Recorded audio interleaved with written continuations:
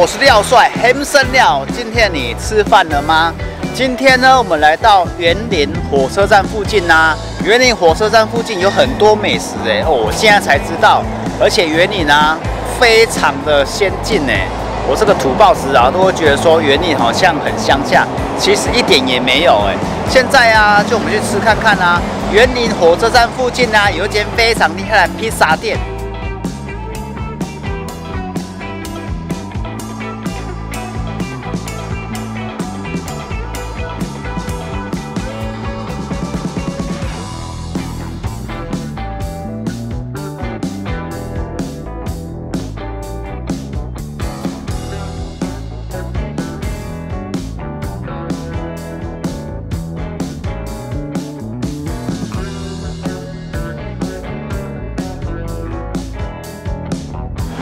们来到哪里呢？我们来到园林这间意大利餐厅，而这个餐厅呢，曾经拿过啊，二零一六年呢拿玻里披萨台湾冠军。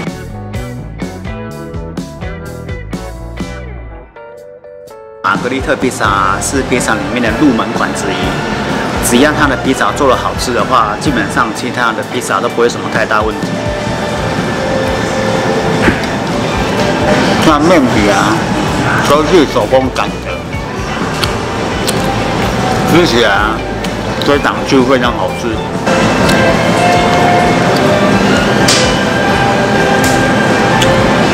披萨应该怎么吃？披萨就是应该卷起来吃才会好吃。卷起来之后呢，这样子一口塞进去，哇，刚刚好。perfect，只要玛格丽特披萨没什么问题，其他披萨都是 OK 的，因为重点是它的饼皮以及是它的酱汁。各位有看到啊？正统的玛格丽特披萨经过拿玻里认证的背面呢？哦，各位看一下背面呢，这个是什么呢？这个就是一种豹纹的烤焦的感觉，这称之为豹纹。一定要有这种感觉啊，才叫做拿玻璃披萨。一般人不懂的，会觉得说阿力的超伟大，千万千万不要这么说。你这么说的人就是个笨蛋。这叫做豹纹披萨，正统的用窑高温烤出来，就是有这种花纹，才叫做拿玻璃披萨。不懂啊，不要装懂，不要这边网络上批评人家说什么超伟大，你都唔办，唔办上网查一下资料好吗？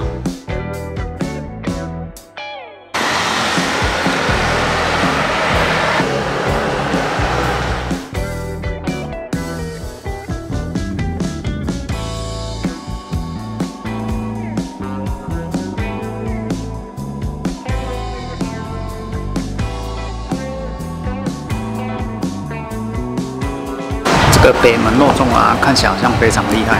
这肉冻吃起来啊，松松软软的，而且啊，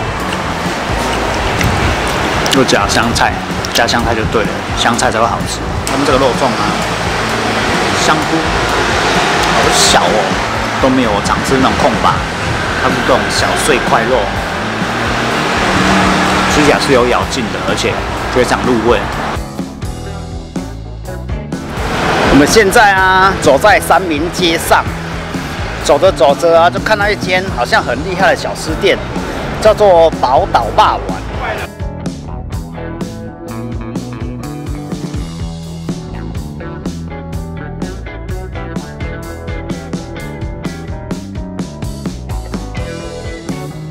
现在呢，来到这个波豆霸王哦，听说啊。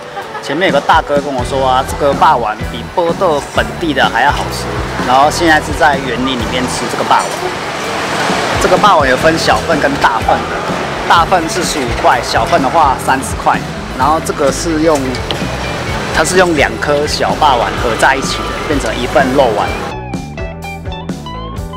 这皮啊非常有嚼劲，里面的笋子啊也非常甜。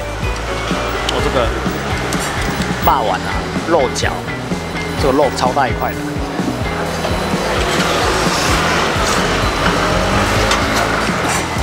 好吃。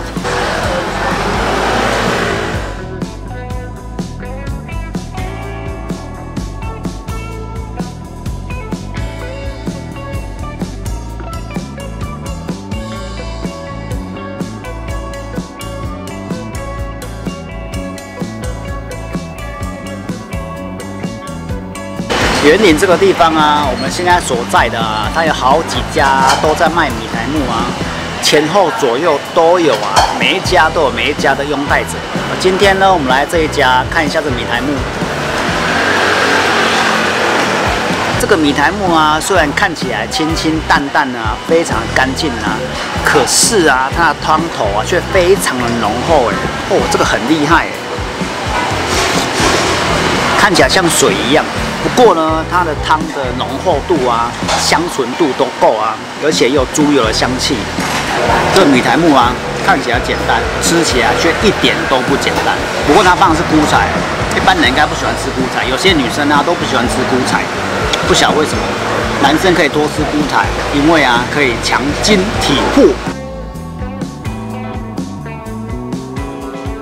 今天来园林啊，短短几个小时啊，就吃到非常好吃的小吃，以及非常好吃的披萨。